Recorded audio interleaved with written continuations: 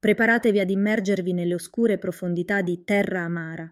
Dal 21 al 23 agosto vi aspettano puntate cariche di suspense, intrecciate in un labirinto di emozioni che lascerà i vostri cuori pulsare all'impazzata. Un mistero intricato e drammatico che promette di tenervi incollati allo schermo.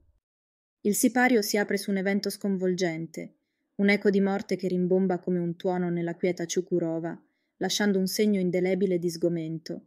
Hunkar Yaman è morta e la sua scomparsa vibra nel cuore della gente come una melodia funesta.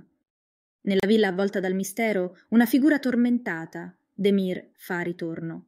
Gli occhi ombrosi, un'angoscia inesprimibile che pesa come un macigno sul cuore, l'anima inquieta in cerca di risposte.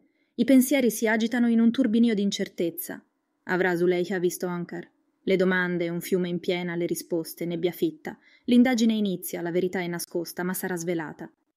Gaffur, con il cuore in gola, teme di essere scoperto come l'assassino di Atip. Ma una luce all'orizzonte, un sospiro di sollievo, un volto illuminato dall'allegria. Non è stato accusato e l'aria si pervade di un breve, illusorio gaudio.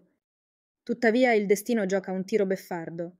Un car destinata a sposare Fecheli è scomparsa come svanita nel nulla e un'ombra di paura avvolge nuovamente Ciukurova.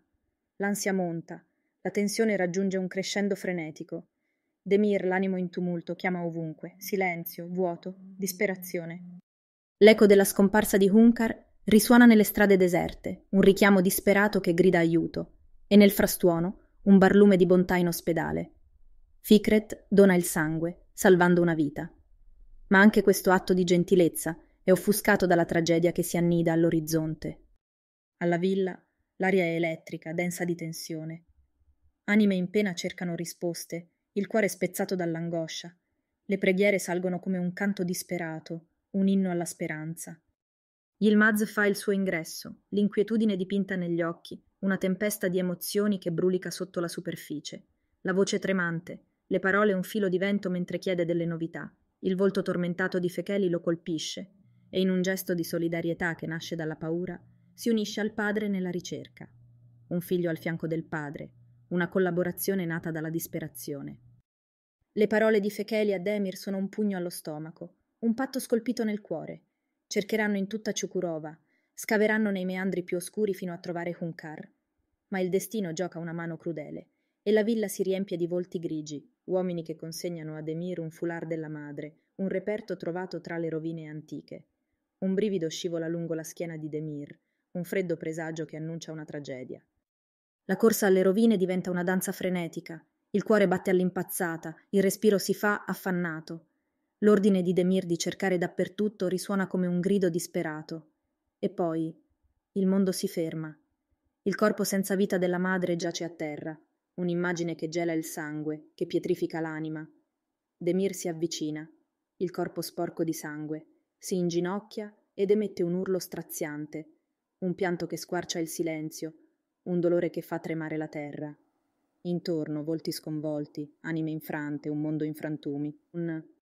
Le parole di un car risuonano come un eco lontano, il dolce ricordo di una madre che aveva vissuto solo per suo figlio, dimenticando se stessa, le promesse d'amore di Fecheli, un legame eterno, una promessa infranta. Un car viene riportata a casa, adagiata come una regina caduta sul cassone del pick-up, Demir accanto, il volto una maschera di pietra, il cuore spezzato in mille frammenti, i ricordi delle carezze, gli abbracci, le parole dolci della madre che danzano come fantasmi.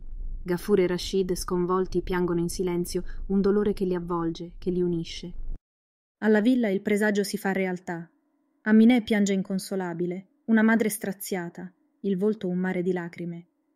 Poi arriva il corteo funebre, la triste marcia che riporta Hunkar alla sua dimora, e il dolore si diffonde come un fuoco incontenibile, un'onda che travolge ogni anima presente.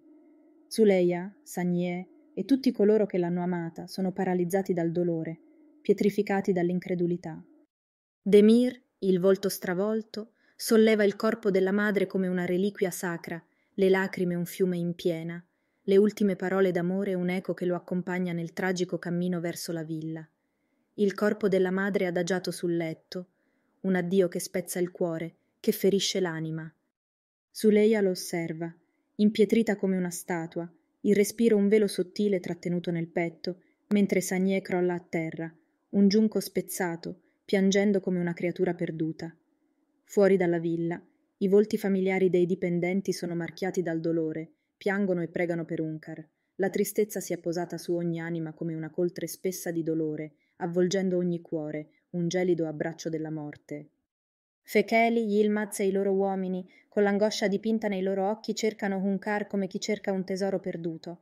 Ma all'improvviso il vento del destino soffia in modo crudele e arriva Fikret, il volto un libro aperto di tragedia, annunciando la perdita che li ha spezzati. Le condoglianze sono un mero formalismo, parole vuote di fronte all'abisso insondabile della perdita.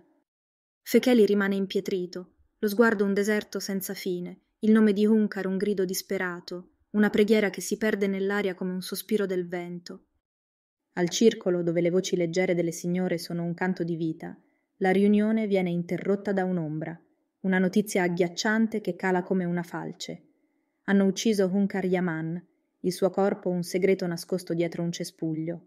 Tutte sono sconvolte, ogni parola si sgretola, inadeguata di fronte a un orrore così incomprensibile, così crudo. E poi Fecheli giunge alla villa Yaman, la vista di un caro, un ricordo vivido che lo colpisce, l'abbraccio un'ombra che lo accompagna verso una realtà troppo dura da affrontare. Le donne sono sedute sulle scale, il volto un paesaggio di lacrime, il dolore un peso che schiaccia. Ma l'immagine più struggente, quella che incide l'anima, è quella di Hunkar sdraiata sul letto, Demir al suo fianco, una figura orfana. Fecheli la raggiunge, un abbraccio che è un addio, il passaggio di una stella cadente, una luce che si spegne. Demir si accascia, la disperazione è una lama affilata che lo trafigge. Zuleia gli si inginocchia accanto, le mani intrecciate in un gesto di conforto che non basta, non può bastare. Accanto al letto di Unkar, il volto scavato dal dolore, le parole un addio che lacerano l'anima. Il dolore è una forza inarrestabile, più potente dell'amore stesso, lo piega, lo spezza. Un uomo finito. Gulten, appena saputa la morte di Unkar, è devastata come se avesse perso una madre. Le sue lacrime sono un fiume in piena, mentre Cetin e Nazire tentano invano di calmarla. Mushgan, tornando a casa e vedendo la scena, viene informata da Cetin della notizia che schianta il mondo. Gulten, sopraffatta dal dolore, esce di corsa per andare da Hunkar, una tempesta di disperazione, seguita da Cetin e Nazire. Behice arriva, e quando Mushgan le riferisce della morte di Hunkar, c'è una fredda dispiacenza nelle sue parole, un gelo che cala nella stanza. Anzi, Beice parlerà dei gioielli scomparsi di Hunkar con una leggerezza che taglia, il ricordo di una minaccia passata che rende il momento ancora più teso, più carico di significato nascosto. Beice si allontana, lasciando Mujgan impietrita, senza parole, e un tarlo le si insinua nella testa, una domanda senza risposta, un dubbio che cresce. Fecheli è una figura disperata, un fantasma di dolore, seduto a terra vicino ad Unkar, stringendo la sua mano con la tenerezza di chi cerca un contatto con il mondo. Dei vivi. Ilmas, vedendo Demir, un volto scavato dalla disperazione, seduto in lacrime con Zuleia, un angelo dolente che lo abbraccia, offre le sue condoglianze, un gesto di rispetto, una carezza in un momento di lutto che avvolge tutto. Fecheli ed Ilmas si recano in giardino, l'aria un velo pesante, carica con il dolore delle condoglianze, un mondo sospeso in un'attesa senza fine. Demir esce dalla villa, le lacrime un tributo silente alla generosità di un Hunkar che non c'è più. Ma poi arriva la notizia dell'autopsia e Demir si accascia, un albero abbattuto, come se avesse subito un altro colpo mortale, un dolore su un dolore. Sanie è straziata, una figura inginocchiata ai piedi di Hunkar, abbracciando le gambe come se cercasse ancora il calore della vita un bimbo sperduto. Aminè interviene, una madre protettiva, allontanando lei e Zuleia e cercando di proteggere la figlia.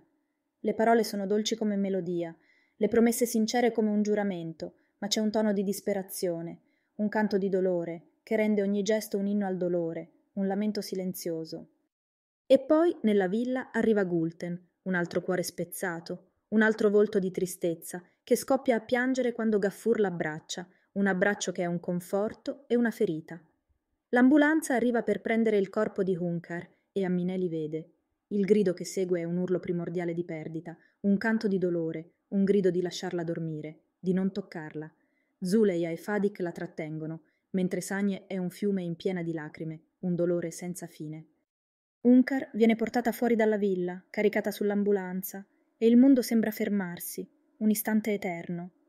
Fecheli, con il viso bagnato dalle lacrime, si avvicina, un passo di addio, mentre Demir si inginocchia in mezzo alla strada, lo sguardo un abisso vuoto, perso nell'ambulanza che porta via un amore eterno, un cuore spezzato.